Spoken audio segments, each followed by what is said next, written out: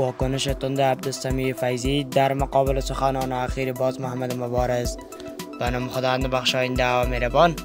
باز هم خوش آمدید به یک دیگر از ویدیوهای channel Kabul Eyes. تقاضا می‌کنیم که تا آخر این ویدیو با ما بوده و channel ما را subscribe نمایید. تا از ویدیوهای جدید و روزانه ما حاصل نمایید. حمایت از قهرمانان در صفحه فیسبوک خود نوشت که واکنش تند عبدالسمی فیضی در مقابل سخنان اخیر باز محمد مبارز. من مشتاق فایت با تو چپاله باز لافوک تقلبکار نیستم. در هیچ اساس در حد من نیستی. در فایت استاده در پهلوانی و در سب نشان مهارت من بیشتر از تو است.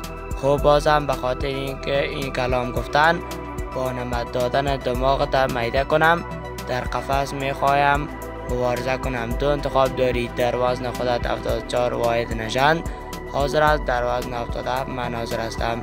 بسم الله کن. در هر جا در هر سازمان هر قدر شرط و پول هم می‌زنی آماده هستم. با تشکر از اینکه تا آخر این ویدیو با ما بودید جهت حمایت کانال یوتیوب کابل را سبسکرایب نمایید.